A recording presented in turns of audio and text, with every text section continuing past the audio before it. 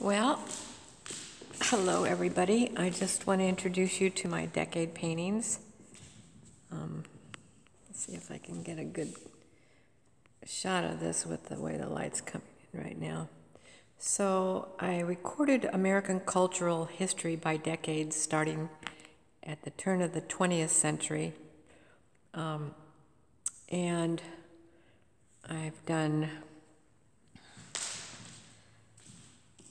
This is the Roaring Twenties. I call her Sophie. And now we have the 30s. Uh, originally, this was Fred and Ginger, and now it's not. anyway, that's the 30s. And this actually is the teens. This is when the Boy Scout came into existence and the Girl Scouts, but this was he this little character was on the cover of one of the magazines back in that time frame and I thought he looked pretty interesting. And then we've got the 40s.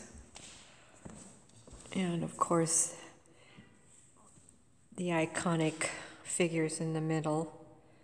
Uh, their names kept changing. I think they finally figured out who it really was. And then we have the 50s.